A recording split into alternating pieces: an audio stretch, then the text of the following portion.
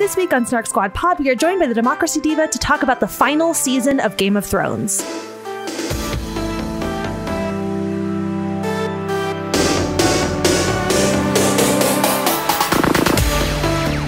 Welcome back to Snark Squad Pod. I'm Nicole Sweeney. My name is Marines, and as always for things Game of Thrones, this week we are joined by Sam, the Democracy Diva. Hey guys, thrilled to be back. Can't wait to yell. you can find me on Twitter at Democracy Diva. Sam is joining us once again. We have dedicated one episode to each of the books in the A Song of Ice and Fire series. And also on Snark Squad, we've recapped our way through the entire series. So one recap per episode on thousands and thousands of words dedicated to the series. And so we knew that because we were reading the books during the off season that we wanted to come back and wrap up the final television series with an episode as well. And now it is my duty to do my best to recap what happened in this very short season. Hearing you say that reminds, like, makes me realize, like, we started the podcast during the off period, right? Like, the period, the time between yeah. seasons was so fucking long that we did yes. a whole year and a half worth of this podcast, read all five published books plus the novellas. Uh, okay, cool, cool, cool. Maybe we'll get to this, but something about like the long wait and what we got in the end was part of like the saltiness oh. of it all. But don't get me started. We'll get don't there. get me riled up yeah, before yeah. the synopsis. okay, okay. Synopsis. In the first half of the season, we deal with the Great War. Team Dany reaches Winterfell only to learn that the Night King has breached the wall and he's on his way with a zombie dragon. Jon learns to ride a dragon and also learns that he's Aegon Targaryen, the real, real heir to the Iron Throne. If you ignore the bit where they kind of got thrown off the throne, so no Targaryen is an heir, but whatever. Cersei doesn't send the troops she promised, surprising everyone except Sansa. Jaime arrives to keep his word. Everyone is mad he's there, but Brienne speaks for him and they decide to keep him, which is great because he later knights Brienne. All the remaining named characters, except for like three of them, get to Winterfell and their plan is decided. Bran is going to be Night King bait. The army of the dead arrive, obliterate a lot of things, so there is a surprising amount of plot armor in the Great War, but that's fine. The Night King makes it to Bran, but at the last minute, Arya super jumps into the scene and kills him with Valyrian steel. The whole army of the dead disintegrate. That done, in the second half of the season, we, it's time to deal with the last war and control for the Iron Throne. Dany wants Jon to pinky promise not to tell his sisters that he's really their cousin, but Jon can't do it. He tells them but makes them pinky promise not to tell anyone else, but Sansa can't do it. She tells Tyrion, who tells Varys, who is immediately Team Penis on the Iron Throne. Dany leaves with the combined army towards King's Landing and gets inexplicably ambushed at Dragonstone. Missandei is captured in the process, and Rhaegal the dragon is killed. Missandei is beheaded by Cersei in the mountain, angering Dany and Grey Worm. Jaime and Brienne hook up, but then Jaime drops her like it's hot to go save his sister lover. Dany finds Dany finds out that Varys is backing Jon for the throne and has him burned alive. Jaime is captured, but Tyrion releases him so he can go ring the bells and surrender the city during the upcoming battle. The war starts and Drogon just basically lights everything on fire. The surrender bells ring, but Dany decides she doesn't care and continues to light the entire city on fire. Jaime kills Euron, finds Cersei, and they die together under some rocks. Arya and the Hound infiltrate the Red Keep, but then the Hound is like, just kidding, revenge is bad, go home. And Arya tries to, but barely makes it out of the city alive. The Hound fights the mountain, and they also die together. Dany's his reign of terror continues with killing prisoners of war, arresting Tyrion for his betrayal, and giving speeches about freeing other cities like they freed King's Landing. Tyrion convinces Jon that this is real bad, and Jon fakes Dany out with a kiss before stabbing her to death. Drogon arrives to give the best funeral ever when he melts the Iron Throne and carries his mom away. Sometime later, all the remaining lords arrive in King's Landing to decide what to do. Tyrion nominates Bran for king. Everyone agrees except Sansa, who says the North did enough and it's going to stay independent. Thank you very much. Jon isn't allowed to go free because I think he told on himself for killing Dany. I don't know. Classic, classic And Jon. his yeah, and his punishment is banishment to the north. The Unsullied sail for Naath. Tyrion is hand of the king and reorganizes the small council. Sansa is crowned queen in the north, and Arya sa- sail for west of Westeros. Jon rejoins the Free Folk and Ghost at Castle Black, and we see them head north of the Wall. The end. Wah, wah, wah. Uh, all right, so we've already kind of like started to tease this out. So really quickly, we're gonna do the gut check. Start where we always start. Did you like the final season of the show, Sam? I had to sit through that synopsis with my hands over my mouth so that I wouldn't interject every 10 seconds with how dumb everything is. So when I was writing my fake version of the synopsis, because I thought y'all were going to make uh, me read it, I was like, oh, I'll just explain, you know, the narrative story of what happened in this season. But you can't do that because they didn't write a narrative story, they wrote an outline. And so we moved from plot point to plot point with nothing in between to connect it and it was infuriating to watch. And i really thought i was going to be less mad about it by now. Because as, as of the time of recording it's been like a week and a half. Um, but in fact no i am uh, still mad uh, that everything no not everything um, significant parts of it were you know non thought out and like clearly rushed very very clearly um so that's So that's a, that's, that's a big no. Big no.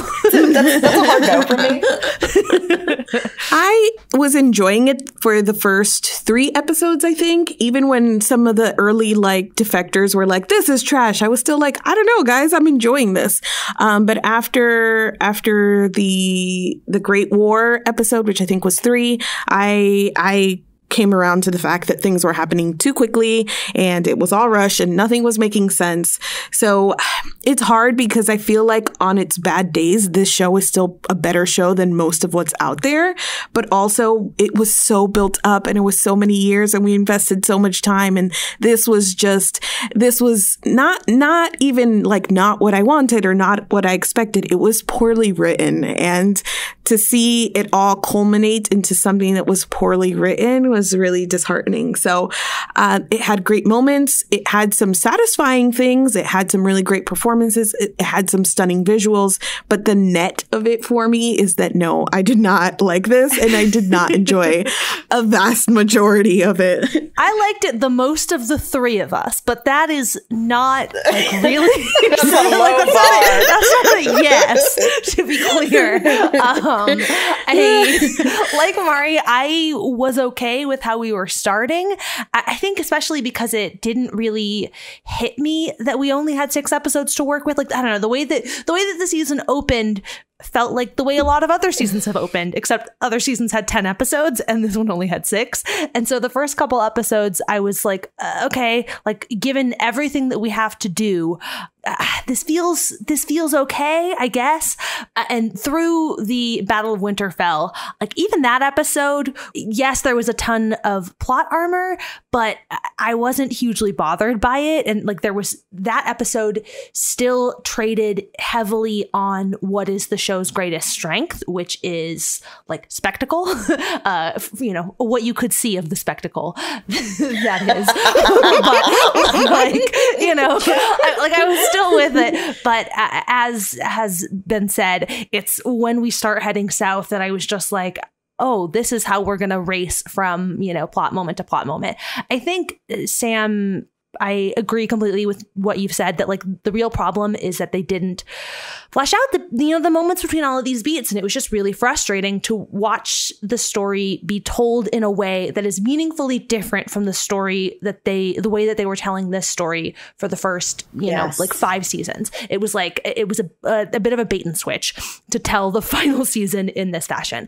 Uh I- there are some things that I liked about this season but I think that given this baseline, um, you know, dislike, it maybe makes sense to start with like where it all went wrong. Uh, and I, I don't like the the list is is long, and so I'm not really even sure like um, where to start except with this like this sort of overarching narrative narrative question. I had somebody on a friend on twitter who liked the final season say something that like i'm still mad about i'm i am not that mad about the final season now. I i have now largely moved into a place of like whatever this happened. I'm sure i'll get riled up while we're talking and then i'm gonna forget about it again.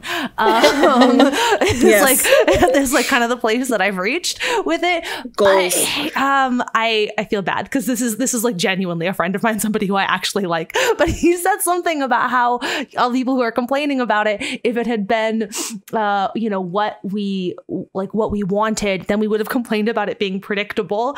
And I, it frustrates me so much because the thing that I love about this story is that all of my favorite moments in this show and you know in the books as well is the degree to which like everything feels like it has this very satisfying payoff. Everything feels inevitable somehow. Like all of the most soul crushing moments, you look at them and like when they happen, you're like replaying like the all of the moments that led to that inevitable tragedy. And yes. like that's what I find so wonderful about this show uh, in the early seasons. And so that, I don't know. So like that to me is the thing that was so frustrating about this final season. Like I think that where everybody ends up, all of these final places, except for Bran on the throne, uh, all, everything else, I'm like cool with where we where the characters land. I just don't. I am like frustrated by the fact that we didn't tell all the steps of how they got there. So my reaction to that is that this season actually did give me a lot of the things I wanted.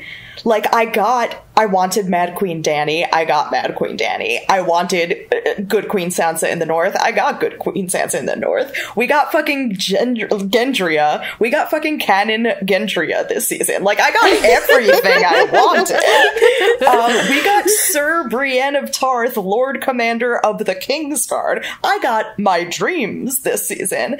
And I didn't not like those things. It was the fact that there was no connective tissue between any of it and how we got to anything else that happened, or sometimes those things as well, didn't make any sense. Um, and I really, I like what you said um, about how it's different than how they used to tell this story. The problem is not that the show is not the books. We like like they are different mediums, they are different projects. Like we can't even I I complain about it a lot, but I cannot expect the show to be the books.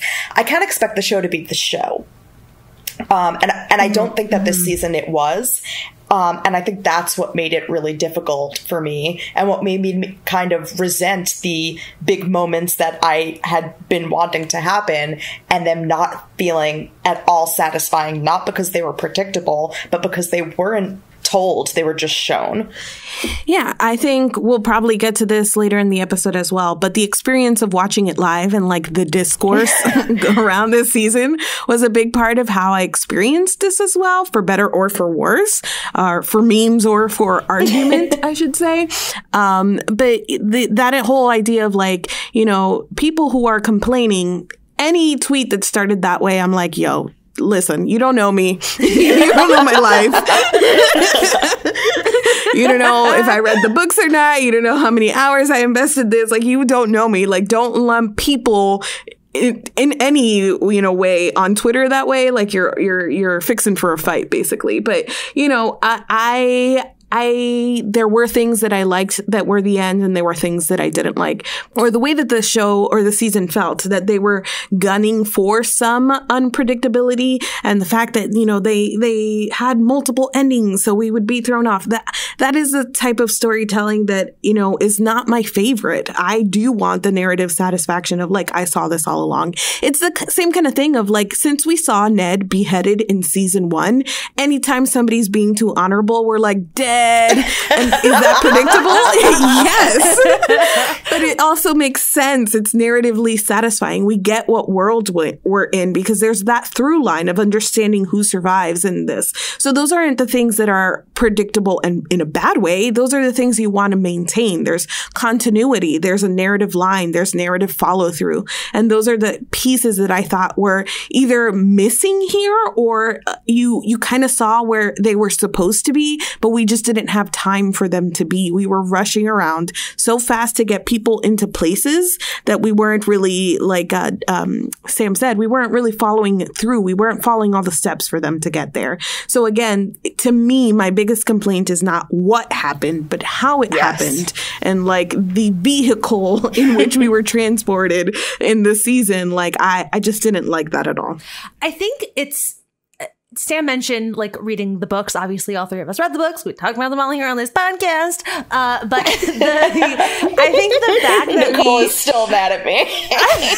well, so the fact that like we read the five books in between the, the seasons is probably part of why one of I have sort of two major reasons why I think um, it took me longer to turn on the show than either of you two uh, in this final season. So like for me, the last two books, definitely the last book, like exemplified all of the things that frustrate me about George R. R. Martin's storytelling. I, I loved overall the story that he's telling i got a lot out of reading the books. I will probably reread them at some point. I don't know whatever. But like the yes, let's do every it's my favorite. You know? It is what it is. But like the just very painstaking like this is you are telling me too much information. You need to be edited down. It's cool that you know all of these things but i don't need to know every fucking one of these things uh, in order to follow and track this story. And so I was excited to go back to the like tightened up storytelling of the show. Mm-hmm. And then, you know, obviously what we got was like just like that, but then sort of the other extreme, which I hated mm-hmm. a lot mm-hmm. more as it turns out. um, but I, to me, it feels like there has to be something between um, George R. R. Martin, uh, who I feel like his version of this is going to be giving us a detailed recipe for every meal that Varys poisons, and like the show having Varys openly discussing his treasons on a beach. Like there, like I just is can I please have a middle ground between those two ideas? That's all I want. I mean, the middle ground was arguably the first, you know, whatever season. Yeah, so say, was, we were that. watching that show. right, that was what I wanted. They were giving me that. And again, like, of course, they were able to do that better when they had full source material and not an outline to work with. But like, it felt like they translated they they didn't it felt like they didn't translate George's outline into a story. They just filmed the outline. And I know I keep saying that, but it's in it it, it just like Truly, half the dialogue have, is like callback dialogue too. So almost like, all of the dialogue, almost all of the dialogue, first of all, is replaced by meaningful glances. So half the dialogue is meaningful glances. The other, like twenty five percent of the rest, is callbacks, and twenty five percent after that is like Bronn Nothing. telling Nonsense. a long story. Like fuck uh-huh. everyone. um, the other thing that I think contributed to like my sort of delayed and Mari mentioned this in terms of like the experience that you have with the thing. And I I'm trying to figure out how to sort of parse this idea out into like a, a, larger question. But it is worth noting that I stopped recapping the show sometime in I think season I finished season five, maybe is when I stopped. And so this last season, you guys were also recapping it. And I think that there is something to be said for like that sort of, you know, spending more time with it. Like this season because they weren't telling all of the beats between it. It is designed to let it just like wash over you and then like take in the the sort of spectacle at the end. The part of the problem is that if you are taking the time to actually look closely at it, it like does not hold up to any sort of scrutiny whatsoever. Uh, and so I think probably the fact that you guys were taking the time to do that from the beginning made it made the the sort of the cracks much more apparent earlier on. Weirdly, I think that was more true in previous seasons, um, only because they were longer, and so, um, and so, right, like writing the recaps took more time, and in this, like again, when like half the episode is so dark you can't see, and half the episode is people being set on fire, like the recaps did not take a long time to write this season for me at least. and also, like we've only done like four of them so far at time of recording, so like we'll get there. Um, but sorry, I moved. But like it, it still doesn't take as much time to write. But this goes back to like Mari giving the synopsis for this season, right? Like there was no you, you didn't really didn't leave anything out because the whole freaking season was beat, beat, beat, beat, and like no sort of setup. It, it was just this happens and then this happens and then this happens. And like, I think that fact becomes much more apparent when you're actually trying to break down, okay, what happened here? Oh, absolutely. I mean, it, it really, more than any other season, I think it falls apart under the, the barest, barest minimum of scrutiny. Um, it was just a relief that that took less time to get through this sure. season when I was enjoying the show significantly less. But yes, I think it only, it only like further proves the point that like there was not a lot of there there this season. At some point, I made the choice to tweet about Missandei's death and about how she was the last woman of color on the show and she was executed the way that she was. And I don't know, I said something about being mad at it. And so, um, racist came into my mentions pretty quickly. And that was an experience, but a lot of them ended up just like, you know, uh, kind of yelling about like me not thinking about it like shh don't think about it just watch it was kind of like the argument there love mm-hmm. that like oh love yeah I, right i respond really so well to fun. that right. Yeah. Like, why can't you just enjoy media? Like, why can't you just? And so uh, that, you know, this entire idea of like, I'm, I'm extra defensive and salty about it because that is totally valid. You can definitely have escapist media and just watch in a way where you're letting it wash over you. But, and you started to say it and I immediately started like twitching because of the Twitter thing that I got into. So, uh, yeah, this, this is definitely a season that if you think about it at all, it kind of breaks down. And we thought about it a lot because I had to recap it. So that was definitely true for me. When I was sitting there and typing, for some reason, Dany doesn't see the warships in front of her and they sail straight into the trap. You know, like I'm, I'm upset. You know, I'm upset because now I have to quantify that. I have to give it words. I have to explain that something that doesn't have an explanation. Um, so while this was definitely easier easier to recap than other seasons, and it really made fun of itself.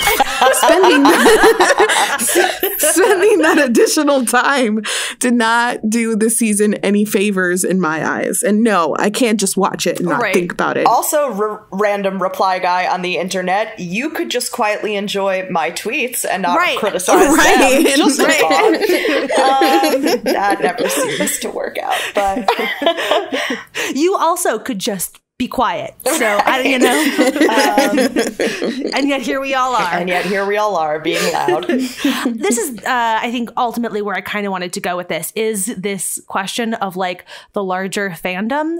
I like that. That experience was weird for me this season I don't know, like it just like being angry together. The memes were fun, but I just like being mm-hmm. angry together was exhausting to me. Not because I wasn't also angry, but because I was like, I don't, I just, I can't. I get like, I'm disappointed by the show, and then now everyone's upset, and it's not fun anymore. I just wanted to have fun. Um, and I, it, it's interesting because I feel like I, am gonna keep coming back to like what a betrayal of storytelling it was, but I feel like I got fairly involved in this fandom almost by accident. Probably the best part of reading the books for me was the realization that I had like actually low key become part of the like a Song of Ice and Fire fandom on the internet unintentionally, yes. but just like because of the show, because I spent so much time, you know, on Tumblr or whatever, uh, like I was part of these larger fandom conversations, and I like the fandom is for this uh, universe is like very cool and interesting because there is so much going on. There is so much space to like explore character motivations and like have, you know, interesting, uh, like, you know, write interesting metas and, and whatever. Like there's like the fandom for this universe is super interesting and cool. And then during this season, it just made me sad. like I was just, I was just bummed out all the time. I, listen to five different A Song of Ice and Fire podcasts, so like maybe I a little bit know what you're talking about in terms of the sheer cottage industry of fandom there is around the show. Um, I mean, I know of like multiple pretty recent podcasts making like five thousand dollars a month on Patreon, like talking about these books. Like people like this is and this it seems like everyone on Twitter is doing this. I say this as I record a Game of Thrones podcast, right. but we're doing this out of the kindness of our hearts. Um, Not five thousand dollars a month. but if you'd like to get us to five thousand dollars a month, you can go to patreon.com slash snark squad. Perfect. I handed that to you on a silver platter. Um, so I've, I've really enjoyed you know, as I get deeper and deeper into the like Twitter fandom and following different podcasters and people who write about the show, um, it is so interesting because there's so much source material to work with that your analysis material can be incredibly robust and amazing. However, um, uh, the, the, the sheer volume of media about this, not just from fandom, you know, self-made fandom media, but the you know capital M media and like five different recappers per mm. publication for each episode. I can't blame them. I consumed every single piece, so I can't pretend like there isn't an audience for that clickbait because I am clearly it. But it was exhausting and to be quite honest i really benefited from the fact that i moved into a new apartment the day of the, of the finale because my uh my busy schedule kept me like not away from conversations but like I couldn't focus all of my time on reacting to Game of Thrones, which was definitely healthier for me and better for the podcast because like now I feel like I'm fired up again for the 1st You're ready, time. yeah. I'm like I'm ready. I I moved a lot of boxes. Let's do this. I I had like a mostly okay experience. I know I just talked about random racist in my replies, but aside from for, that, for the, aside from that, um, uh, I I think that the memes were fun and it was enjoyable to kind of like experience it. Some of those moments, especially real time, like yeah. there was a great video of like the reaction to Arya when she stabbed the Nike, like that kind of like mass like reacting together was was fun for me for the most part. The memes were fun for me for the most part part. Like Game of Thrones Twitter is so freaking witty. Uh, I don't understand. Like there there was a lot to enjoy there. It started to get away from me when we headed into this spot of like all you people complaining or all you people who enjoyed it or like the the There's one know, right of, opinion and it's right, like a moral right. it's a moral quality. Moral to have the yes. correct opinion. Like you as a person are incorrect. like your entire existence is wrong because your feelings feelings about this fucking TV show. yes. And that's 100% where it went. And I was just like, why? And, why are we doing this right now? Yes, like absolutely. that became unenjoyable to me. And for me, that exacerbates the dislike of the season because like we thought about this more than the showrunners who put a water bottle and a cup of coffee in a shot this season. What the fuck, guys. So that's the other portion of this is that like there there was a moment where I was thinking about like how much all of that legwork that fandom did, book fans and TV shows like pre this kind of set us up for failure because we we I think objectively like we put more hours into this than the writers actually did. I don't know. I feel like we did a ton of work. And so when it got to here when it was maybe not the best writing, my sister turned to me at one point and she was like, How are we noticing more than the writers did? And I'm like, Oh, honey, you don't understand. like, of course we did. We've been invested in this, like, to a level where, like, it led us up to this moment. So I don't know. I think there's a portion of that, like, all of the head headcanon and all of the, like, figuring it out and trying to piece these things together that almost kind of dug us into a hole, especially because the writing here was not good. But for the most part, I enjoyed the memes and stuff. Whether you like this or dislike this, you're fine. You're doing great. You're doing amazing. I mean, maybe you're not doing amazing, but it has nothing to do with your opinion of this show. right. Listen, we're all doing terribly, and it has nothing to do right. with Game of Thrones. there were also moments that, like in the discourse, where I was talking about this, and I realized very quickly that I had turned into the oh no, I've read the books Yes. fan. Uh-huh, uh-huh, uh-huh. Welcome to the and party. I was like, oh no, who am I? yeah, there was a whole identity experience around reading the books between the the big gap. So that was interesting. You're you're welcome, ladies. I, I do want to at least acknowledge that like there were some things that went right. I don't know. For me, I feel like fundamentally what went wrong here is in the writing. Like it the it, was this final season was badly written and then everybody else kind of had to do their jobs on top of that, you know? Uh and so most of the most of the things that I think are wrong really happen at the you know at the script level and then I don't know. Everybody else is just sort of trying to do their jobs and like make the most of what they've got. Uh, there, there were a couple of like really, really lovely, wonderful visuals. Not a couple more. There were a ton of things, a ton of visual moments in this season that stand out to me as things that like assuming the books get to that same place, assuming George actually writes them, uh, and the books do get to the the sort of same similar beats that this season hits. Which honestly, like I mostly like I expect that they largely will, um, but I like I think about you know Dany walking through that throne room full of ash. Like yes, like there's so much like bad in the writing around that moment but that moment was like beautiful like it was it was beautiful it was beautifully shot uh like Emilia Clarke who was a hater of for a really long time like i think she did a great job in that final sort of you know as she's walking through and having that little moment again she didn't have that much to work with on the page I think they did all of that stuff really, really well. And it was really nice to get to watch some of my favorites have like these big moments. Uh, Brienne being knighted. I watched that episode twice and I sobbed. And I, I knew I, I watched it late, so I didn't watch it when it was happening. That was uh, Coachella weekend. But I saw, I was spoiled on Twitter. I knew it was coming. I ended up watching that episode twice. And both times I sobbed when she, when she's getting knighted, uh, seeing Sansa be Queen of the North. So like there were a lot of really, really lovely things that I was like grateful to get to see on screen. Yeah, I uh, I think for me the the highlight of the season was definitely um, a Night of the Seven Kingdoms. Um, the the what were supposed to be everybody's last hours on Earth before the Night King came, but don't.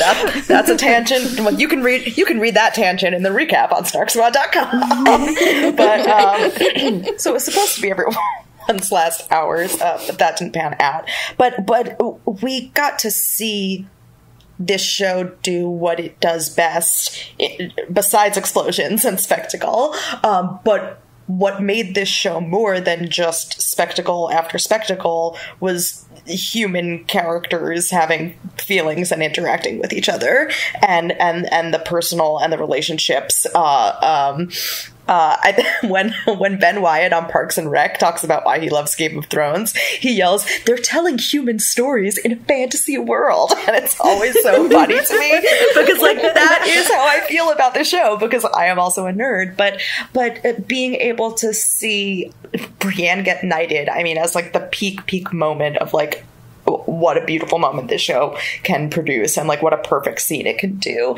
Um, and so much of that episode had that kind of warm but foreboding feeling that the show has always nailed. And then there didn't really seem to be followed through after that. They raised the stakes so high themselves for the Battle of Winterfell episode that you know, they couldn't be reached, let alone exceeded. And it also, as we just spent many minutes saying, like, it didn't feel like they did the work to get it there. But I loved, you know, I loved. I love the scene of Brienne get indicted, and I agree that there were visual moments that I will take away, you know, forever. The the like dragons in front of the moonlight um, uh, during the the long night episode, um, the the Dothraki flames being extinguished. Um, there were there were visual moments that were incredible this season, as there always will be on a show like this. Yeah, Sansa, Queen in the North. That's pretty much my uh Yes! my highlight there. and I know visually also just like the costuming, her her crown, oh that God, whole so moment was just breathtaking, absolutely breathtaking.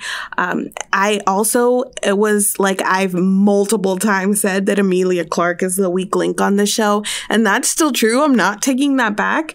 She did so much better this season, and also I was clickbaiting, clicking on every like interview and everything about the season as well. And she, the the actress Emilia Clarke, was so endearing in some of the things that she like some of the interviews and things. She also was not a fan of this season and the writing in it. So some of that stuff was like, oh man, I was hard on her. I mean, she really couldn't act, but she did better this season. Well, so that she, was a highlight. I actually, the, watching her this season, I was frequently struck by you just have nothing to work with here. Yes. And so like to me, it's hard to pin any of that on her. And so and I do think she did a like a much better job this season than like in season 1. Like I think it's actually really cool that you can, you know, watch her grow as an actress over the course of the 8 seasons of the show.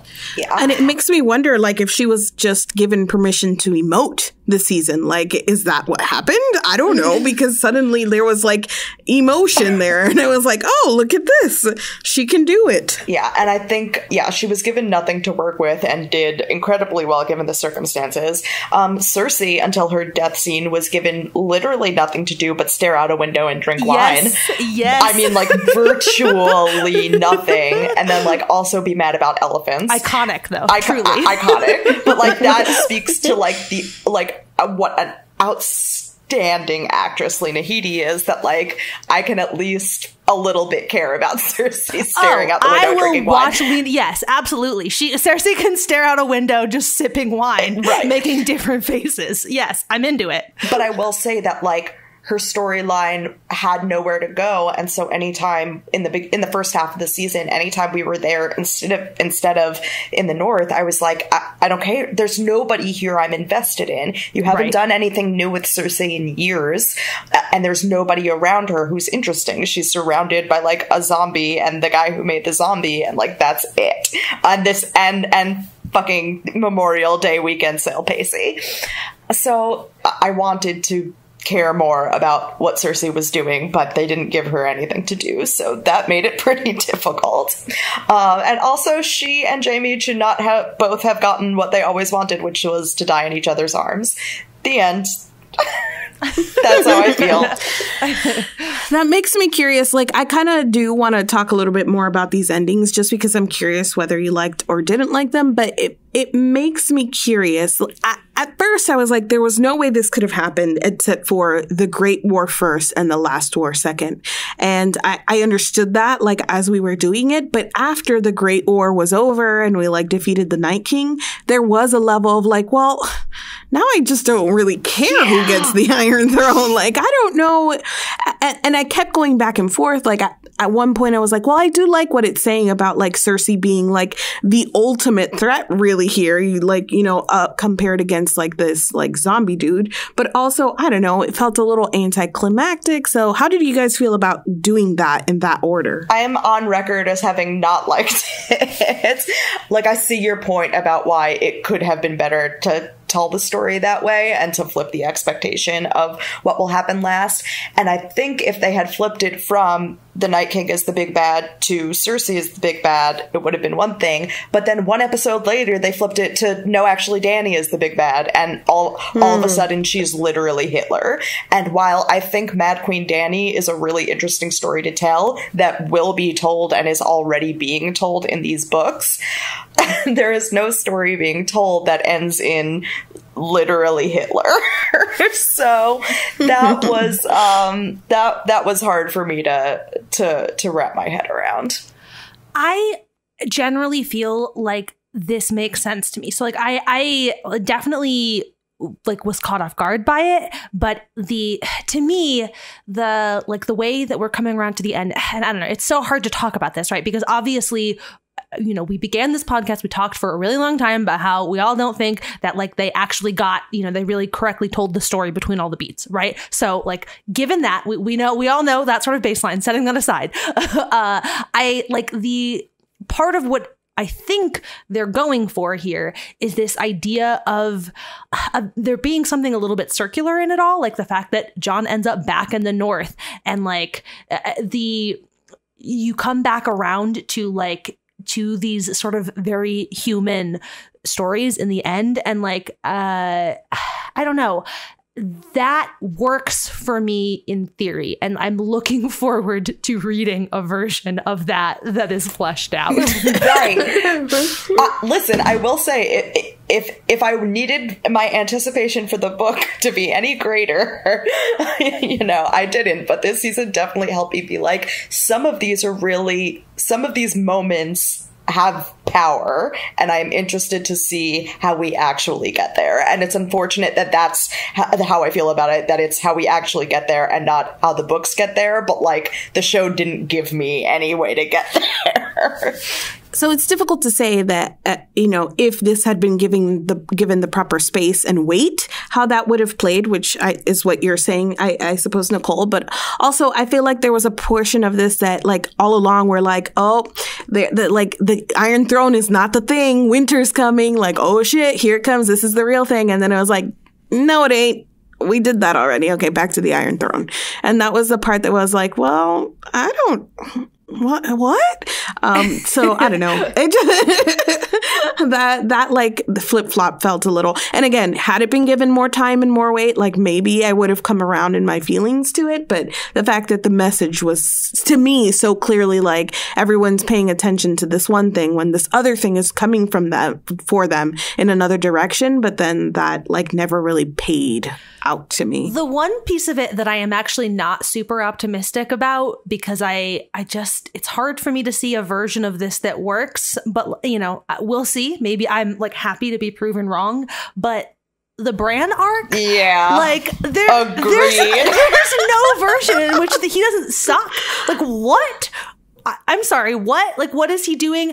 I don't know. I just, especially because we're not given, we have not yet been given in the books, and maybe we will be given some sort of more like satisfying explanation of how his like his powers work. But I, something that comes to mind, uh, Endgame also had its flaws, and Doctor Strange uh, is not a character that I care a ton about, but he's there. He's the one like you know can see the future character, uh, and he like has a line in Infinity War about I don't know, like the million to one like type odds to you know for like there's there's one way. Everything has to happen very precisely, and there's one way we win. Uh, but it might we might not. Like there's you know there's just there's a single possibility, and I can see like a multitude of possibilities, but we're not and like that that makes it work like that makes it make a sort of sense that like strange is then going to do whatever his part is in the very specific sequence of events that have to get them to the outcome where they can win we don't get anything like that with Bran. like any sort of like it seems Bran appears to just be like completely omniscient, and so like I, I, just am like I don't I don't understand what you've been up to. Uh, like there's no version in which you're not a dick. I, I don't have I don't know how to improve upon that.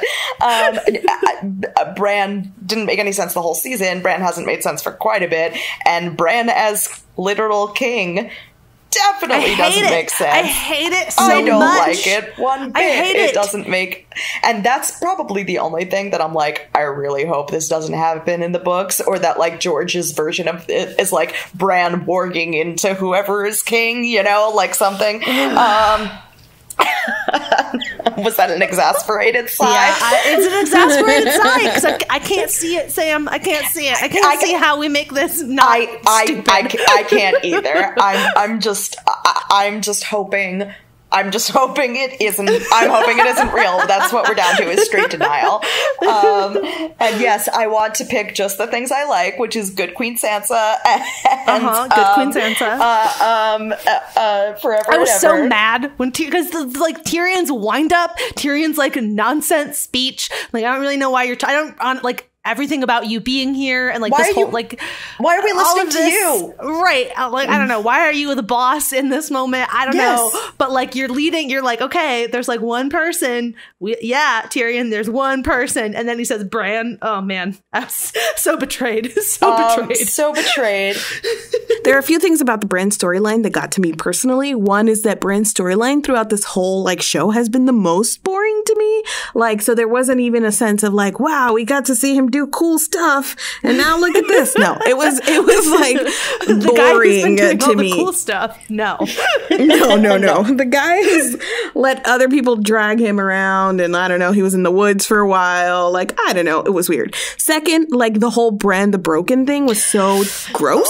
um, really, that's that's what you're gonna go with, The Bran the broken, especially because your whole speech is about how he has an amazing story. He's literally the most powerful person there and omniscient, and you're like, oh, I know, broken. That's some ableist bullshit. So great. The last piece of it to me is that idea of like the I'm not usually a person that is like cheering on rules and magic, but I think that this aired on the side of having so little rules and the, the fact and the idea that we don't know how this all works and we never got an explanation. And mm-hmm. we spent the last one or two seasons even going, I'm not Bran, I'm not Bran, I'm not Bran, I'm totally not Bran. And then at the last minute they were like, Bran, and he's like, Yes, I am king. And you're like, wait a second. Like we just spent this whole time saying you're not Bran, like I don't know what's happening. It's the same complaint, I think, very similar to whole Arya faceless man thing, where everybody was asking, why didn't you just wear a face and do some more stuff? Because we don't know the rules. We don't know how this works. Was that a one and done thing? We we don't know.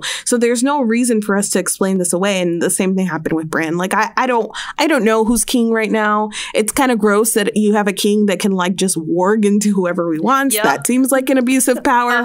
Um, but like that's where you went. I'm not sure don't why we should it. trust him any more than the Dragon Queen. Like, uh, also, if he knew how all of this was going to, like, the line, I think the line from Bran's storyline that really just broke my brain and not in a good way was, um, was him saying, Why do you think I came all this way? And it's like, wait.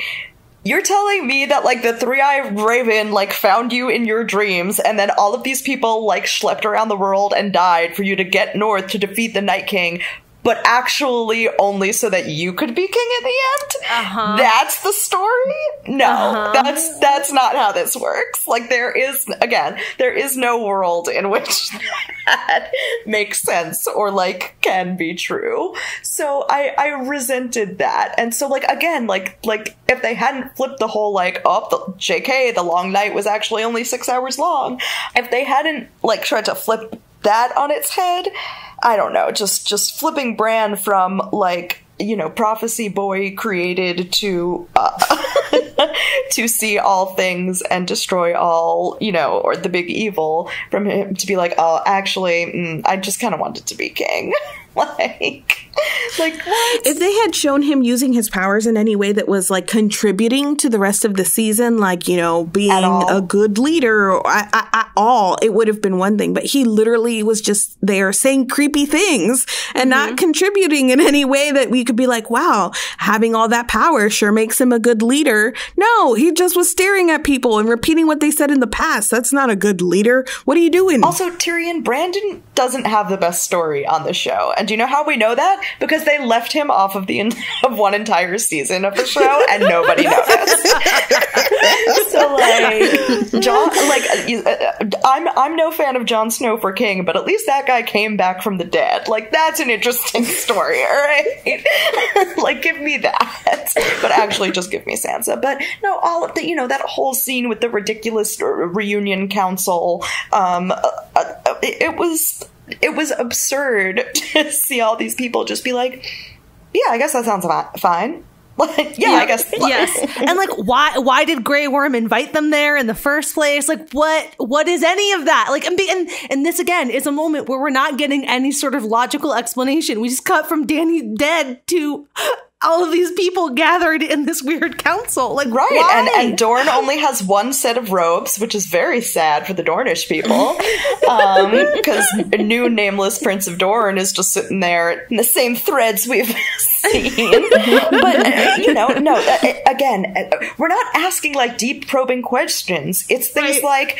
If one of the seven kingdoms can be independent, why wouldn't the other kingdoms who have fought for independence throughout this entire show, like the Iron Islands and Dorne, why wouldn't they also be like, yeah, peace out?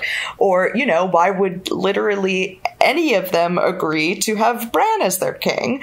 Why are we calling him Bran the Broken, which is horrific, without even an in world explanation for, like, no, here's why that's not horrific here, you know? like, not even that. It's like just horrible. Yeah, why anybody listens to Tyrion, especially after the last, like, three seasons of Tyrion never making a good decision ever uh, is is really beyond me at this point. My little sister, uh, she she hates on me because Sansa's my favorite character and she doesn't get it, and so she was like complaining to me about how Sansa betrayed Jon and when she told him a secret LOL. and she didn't even like st- yeah stand up for him like at the end and say that he was a Targaryen, and I was like, hold on, hold on, hold on. Jon himself could have outed himself.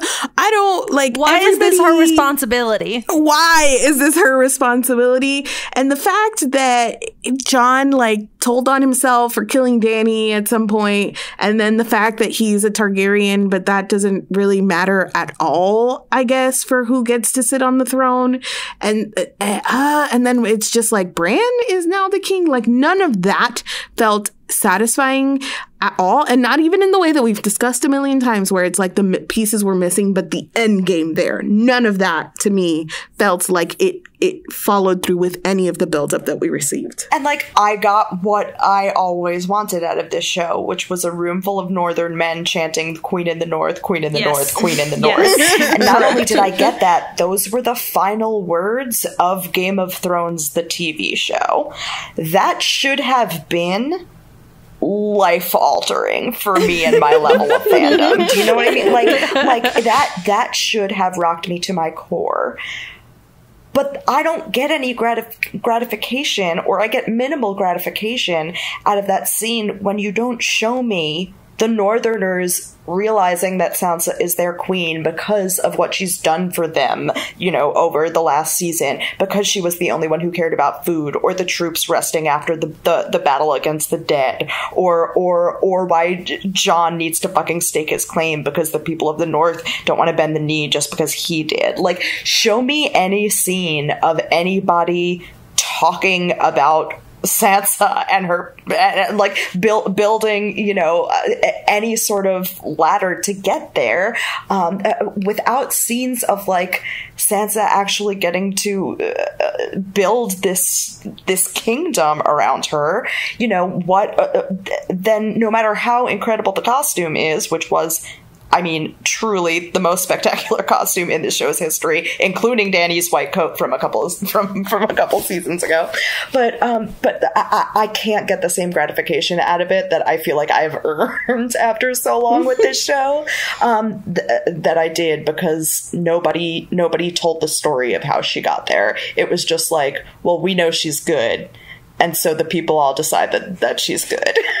Something else though that was really satisfying um, that I just thought of, but is the and like I saw a lot of people talking about this online, but I don't know, just just to like add to the list of the short list of things that I, I did really enjoy. Uh, the fact that the that uh, Jaime and Brienne were using two halves of Ned Stark's sword to defend Winterfell, mm. that was like. Yeah beautiful and very very good. And again you know this the, like the the larger thing a lot of really lovely beats and moments just uh undermined by being strung together by nothing. Yes. But like that story was lovely for a time.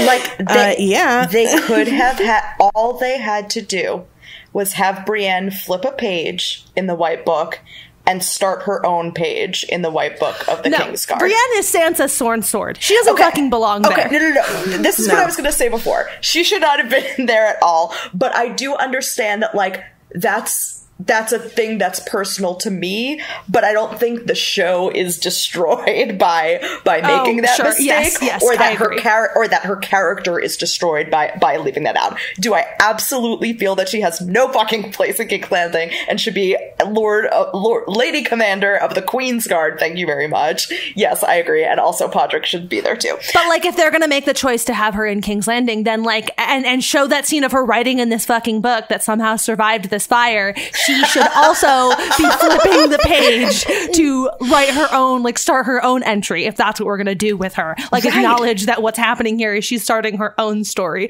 and that like the point of her story isn't Jaime. Right. And that's what makes this so infuriating is that, like, it only takes one logical step further, or Yes. I don't know, any woman in the writer's room in the last three years to make that happen. That's all you need.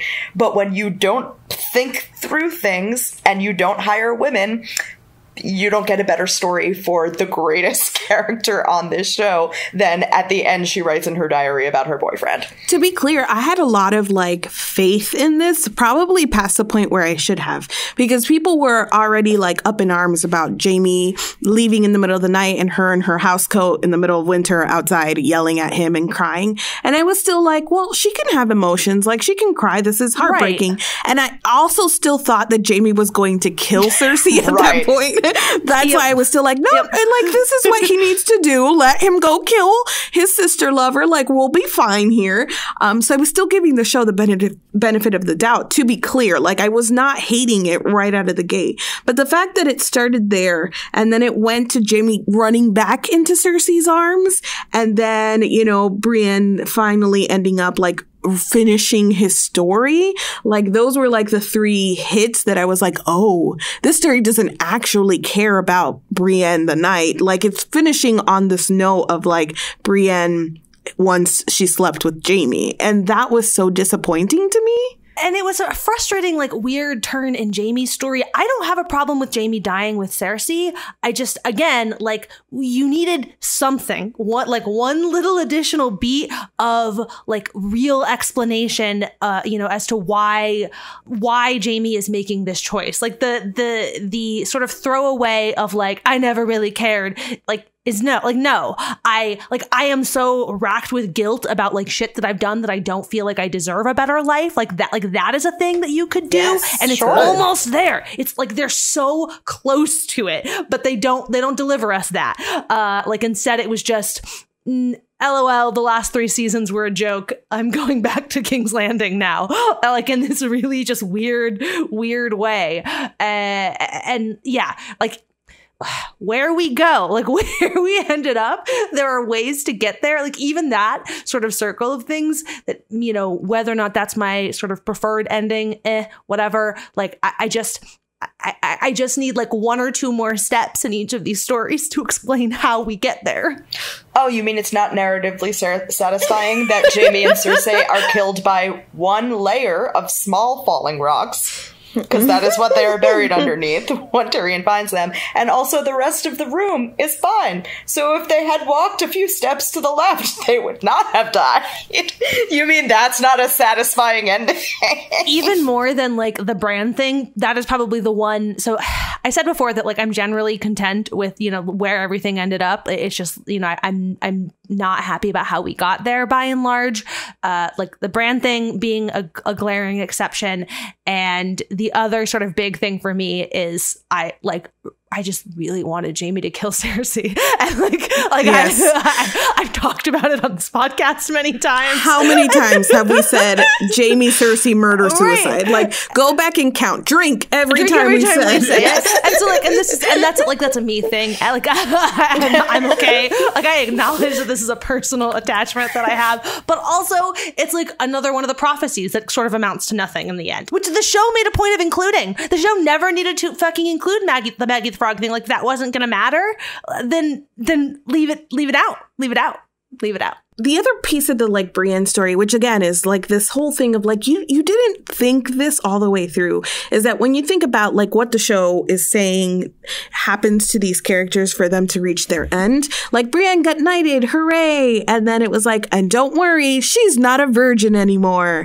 what? like what? Do you think any of us cared? Like really, that's like the note she needed to hit before we like close this off. The, the some of the things that the show just in these like six limited episodes that it dedicated time to. I'm like, that's what you think the people want? A, a fight between Jaime and Euron? Like, literally nobody cares. Or I, I can't believe we spent any time in the finale of Game of Thrones watching Euron, or, or not in the finale, but in the pre-finale of Game of Thrones, watching Euron and Jaime like kill each other. No, I've never cared about a fight less. like tr- truly, truly never. And and there were so many things like that. I mean, you already gave us Arya walking through King's Landing, seeing the destruction that Dany did to everyone, which was powerful because it reminded you of Arya in Braavos walking through injured and just like other journeys Arya has taken through like complete disasters. But then you do like an even longer scene of Tyrion walking through in the next episode afterwards when everything's rubble, and I'm just like, okay, but like this, I felt like screaming at the TV, like, you guys know this is the end of the show, right? You guys know you don't have any more time and this and and this is what we're spending time on. It felt like we the audience was saying this is not enough time and the writers were going, "We have too much time. How can we uh, pad this out?" I will say that the one of the few arcs that I have very little to complain about, except maybe a general shrug at, at the ending, is Arya in this season. Like I'm pretty content. Mm. Like Arya got to bang Gendry, uh, Arya got to kill the Night King. Like I don't know. I I'm I'm happy nope. for Arya. Oh no, no, no. See, uh, I'm I was happy. I was not one of the people complaining about Arya killing the Night King. I thought that was a way that was like not super predictable, but that still really worked. Which like, of course she did. Satisfying She's and there was payoff. Satisfying, yeah, yeah, yeah. She's an assassin. She sneaked up on him. Oh, the whole episode is showing us her sneaking around and making her way around the army of the dead. So the fact that she got around them and killed the the Night King, beautiful. Chef's kiss. Loved it. My whole thing with like Arya's story to me, and again, this is like personal interpretation, but I feel like we spent so much time watching her lose herself and trying to become no one to then finally realize I am Arya Stark of Winterfell. And the amount of time that she spent leaving Winterfell behind and her siblings, I was like, I don't, what do we, but why? Like, why did we spend all that time for her to find her identity and then just kind of like, okay, but, you know, I, I gotta be not here. Or, you know, why did we spend all that time watching her gain these abilities? And she does kill the Night King, but we never really see any of that else in action. So there were parts of her story that I was just like, I don't know. And, uh, you know, honestly, at the end of the day, she could have put Gendry on a boat. He has experience with boats. He should, she should have taken him along for the ride. But that's a lesser complaint. The other stuff is real. I mean, there's nothing more real than Gendry should have been on the boat too. that, that, I think is is is is the realist. It was fine. It wasn't my favorite. I don't know why she sailed off like Christopher Columbus at the end there, but I, I don't know. That that's not where I expected it to be. Also, can't Bran just tell her what what's west of Westeros. yeah, yeah. it's just it's just a thought. It's just a thought. A little a little bit like you know distressing just for more in my heart reasons like i don't know that i can necessarily actually call this a like narrative flaw but like in my heart reasons the fact that like all the stark kids came back together one last time only to like be like clearly set themselves up to never see each other again like right. they are never gonna fucking see each other again uh and that's upsetting i mean maybe sansa and bran will like have reason to uh you know diplomacy right there's got to be more weird council meetings with edmure right. tully because we all were just dying to see ed Edmure Tully once more in the fucking finale. I mean, I was, but normal people weren't. okay, if Sansa didn't get Brienne, then like she should have at least had Arya. Like, where where is Sansa's Who uh, defending my girl? lady warrior? Where's her honor uh-huh. guard? Uh-huh. Yeah, we have priorities, and they are who is guarding the queen. we know no queen, but the queen in the north, whose, name, name, is Stark. Stark. Preach. Um, I, I, I will say Jon was kind of like a non-entity to me for most of the season. Really, it felt like he got sidelined and then he stabbed Dany, uh, and then he sidelined himself again, um, which like is fine by me because in addition to all the other uh, canonical relationships I got, I also got Jon and Tormund together in the end, uh, married beyond the wall. And if you that's not how you read that scene, then I can't help you. But uh, uh, but I know in my heart that Jon Jonmund is canon. I don't know. It just feels like they're like we talked about a lot, but I, I feel like there's so much else. I know. Also, but it's also all the same, and Yes, it's all right. this was not well written, and like any piece of it that we can pick out and like examine, it's like, oh yes, I see this was not well right. Written. it all Like, has that- the same That's root it. problem. So yes, yes, round and round in circles. I mean, honestly, I feel like this episode was really just another, you know, as this podcast often is, round of like media therapy. Like, uh, Yes. we get had a lot of feelings, uh, got to talk them out as a group, got to get all of that out, and uh, and now now we're done with Game of Thrones. There's no more Game of Thrones um, until George R. R. Martin writes another book, and then we all got to come back together to read and discuss that. But until that time, At least the memes are forever, and the real Game of Thrones was the memes we made along the way. on that note, that brings us to the end of this episode of the podcast. Thank you, Sam, for joining us on this journey. And thank you to all of you for listening. If you are enjoying this podcast and would like to make us one of those $5,000 a month Do it. Patreon campaigns, uh, we would love it if you consider joining our community on Patreon at patreon.com slash snark squad. We would love to hear all of your thoughts on Game of Thrones.